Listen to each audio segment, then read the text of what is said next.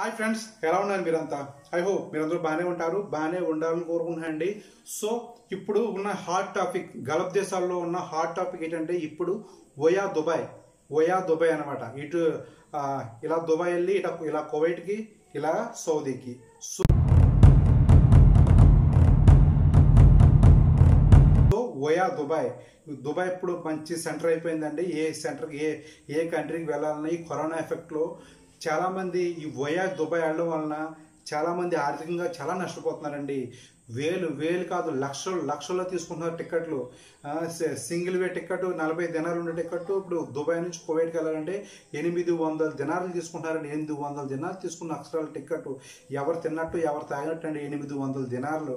ఎవరు తినట్టు ఎవరు తాగినట్టు. సో చూడండి చాలామంది త్వర త్వరగా కోవిడ్ చేరుకోవాలను త్వర త్వరగా సౌదీ చేరుకోవాలని చెప్పి ఏజెంట్ల చేతుల్లో లక్షలు పట్టుకొచ్చి పోసేసి వెళ్ళిపోతున్నారు వెళ్ళిపోయి అక్కడ దుబాయ్లో బుక్ అయిపోతున్నారండి. వాళ్ళు చేస్తున్న చిన్న చిన్న తప్పులు చిన్న చిన్న తప్పులు పెద్ద పెద్ద ఈ పెద్ద పెద్ద నష్టాలు ఎదురు చూ ఎదురు చూడాల్సి వస్తుంది. ఇంతకుముందు గల్ఫ్లో గల్ఫ్ వీసాల కోసం ఎంతో ఇబ్బందులు పడి ఎదురు చూసి గల్ఫ్ వీసా వస్తే దేవుడా గల్ఫ్లో చేరుకుంటే చాలు అని చెప్పి అనుకునే వాళ్ళం సో అక్కడ ఎన్ని కష్టాలున్నా మన వెనకాల మన ఫ్యామిలీ ఉంది మన బాధ్యతలు మనం చేసిన అప్పులు వాటి వడ్డీలు కళ్ళ ముందు కనపడుతుంటే కష్టాలను తట్టుకుని నిలబడాం. ఇప్పుడు ఏంటంటే గల్ఫ్ వెళ్ళడమే కష్టంగా తయారైంది. మీ దగ్గర టిక్కెట్లు ఉన్న మీ దగ్గర టిక్కెట్ ఉండి వీసాలు ఉండి డబ్బులుండి కూడా వెళ్ళడమే కష్టంగా ఉందండి. రకరకాల ఇబ్బందులు. గల్ఫ్ వెళ్ళే దారులు ఎన్నో ముళ్ళు దారులు ఉన్నాయండి. ఆ ఆ దారులన్నీ దాటుకు వెళ్తేనే మీరు గల్ఫ్ వెళ్ళగలరు. నేను చెప్పేదేనండి ఇప్పుడు కొత్త కొత్త రూల్స్ వచ్చాయి. కొత్త కొత్త రూల్స్ మారిపోతున్నాయి. ఒయా దుబాయ్ దుబాయ్లో రూల్స్ మారిపోతున్నాయండి. అందుకని నేను ప్రత్యేకంగా చెప్తున్నాను ఎవరైతే ఒయా దుబాయ్ కోవిడ్ వెళ్తున్నారో ఎవరైతే ఒయా దుబాయ్ సౌదీ వెళ్తున్నారో ఒకసారి నా వీడియో చూడండి. ఎందుకంటే మొన్న మొన్న ఏం జరిగిందంటేనండి యాభై మంది ఇండియన్స్ మూడు వందల నాలుగు మంది పాకిస్తానీ వాళ్ళు దుబాయ్ వెళ్ళిపోయారు అక్కడ వాళ్ళకి డాక్యుమెంటేషన్ సరిగా లేదు. ఒకటి అక్కడ పద్నాలుగు రోజులు క్వారంటైన్ ఉండడానికి హోటల్ బుకింగ్ లేదు వాళ్ళకి. నెక్స్ట్ పీసీఆర్ అయితే ఉండాలి పీసీఆర్ అయితే అలౌ చేయరు. ఓకే తర్వాత షో అమౌంట్ ఇది ఒక కొత్త లిటికేషన్ షో అమౌంట్ ఉంటుందండి తర్వాత రిటర్న్ టికెట్ కోవిడ్ దుబాయ్ వదిలి వెళ్ళడానికి రిటర్న్ టికెట్ ఏమీ లేకుండా వాళ్ళు దుబాయ్లో దిగిపోయారు. ఇమిగ్రేషన్ వాళ్ళు చెక్ చేస్తే ఏమీ లేవు వాళ్ళ దగ్గర. ఒకటి మీరు ఎవరైతే ఓయా దుబాయ్ మీదుగా సౌదీ వెళ్తున్నారో ఓయా దుబాయ్ మీదుగా కోవిడ్ వెళ్తున్నారు. మీ దగ్గర డాక్యుమెంటేషన్ పూర్తిగా ఉండాలి. ఇవి లేకపోతే డబ్బులు పే ఇవ్వడం కానీ తొందరపడి వెళ్ళడం కానీ చేస్తే అక్కడ నుంచి మళ్ళీ రిటర్న్ వెనక్కి వస్తారు తప్ప అన్యాయంగా మీ డబ్బులు టికెట్ డబ్బులు వేస్ట్ అయిపోతాయి. మీ టైం వేస్ట్ అయిపోతుంది. తర్వాత చాలా బాధపడతారండి. చూడండి. ఒకటి ఇండియా నుండి దుబాయ్ వెళ్ళే టికెట్ ఇది నార్మలే. అయితే దుబాయ్లో దుబాయ్కి మీరు విజిట్ వీసాలో వెళ్తారు. అక్కడ పద్నాలుగు రోజులు క్వారంటైన్ ఉంటారు. సో దుబాయ్లో మీరు పద్నాలుగు రోజులు ఉండాలి అంటే పద్నాలుగు రోజులకు మీకు తినడానికి ఉండడానికి ఒక ప్లేస్ ఉండాలి. ఓకేనా? అంటే దుబాయ్లో మీకు hotel booking confirm hotel booking ఉండాలి. ఓకేనా? తర్వాత షో అమౌంట్ షో అమౌంట్ ఉండాలండి. దుబాయ్లో పద్నాలుగు రోజులు మీరు ఏం తింటారు? అక్కడ ఏం తింటారు?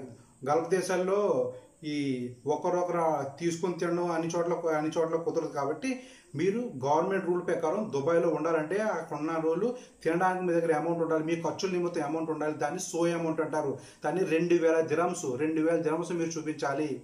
రెండు వేల దిరమ్స్ మీకు అమౌంట్ ఉండాలి. అక్కడ ఉండడానికి హోటల్ బుకింగ్ కన్ఫర్మేషన్ అయి ఉండాలి.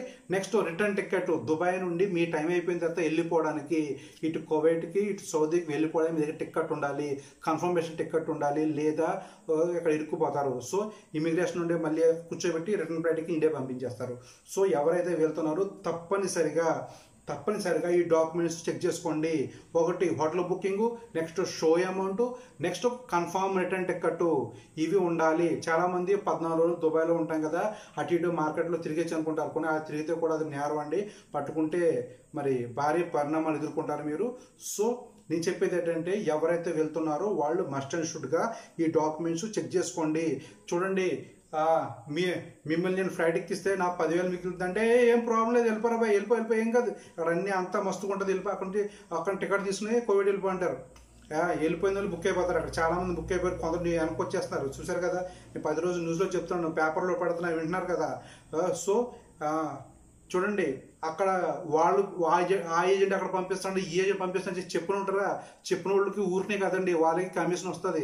అందుకే చెప్తారు వాళ్ళు. సో మీరు వెళ్ళి ఇబ్బంది పడిపోకుండా డాక్యుమెంటేషన్ క్లియర్గా చూసుకోండి. నేను పదే పదే చెప్తున్నాను వీడియో మీకు చిరాకు అనిపించవచ్చు కానీ పదే ఏంటి మన తెలుగు మిత్రులు ఎవరు వెళ్ళి బుక్ అయిపోకూడదని చెప్తున్నాను నేను.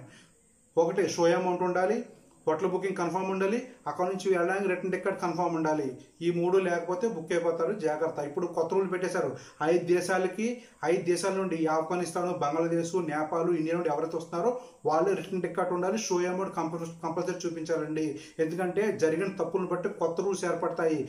గల్ఫ్ దేశాలు ఎప్పటికప్పుడు రూల్స్ మారిపోతుంటాయి. మీ అందరికి తెలిసిన విషయమే కదా. సో అందువల్ల ఎవరైతే ఒయా దుబాయ్ మీదుగా కువైట్కి సౌదీకి వెళ్తున్నారు. నా వీడియో చూడండి. మీ డాక్యుమెంటేషన్ పూర్తి చేసుకోండి అప్పుడు వెళ్ళండి. లేదంటే మరి ఇబ్బంది పడతారు. అదండి సంగతి. మన షోలో మళ్ళీ కలుద్దాం. అంతవరకు బాయ్ బాయ్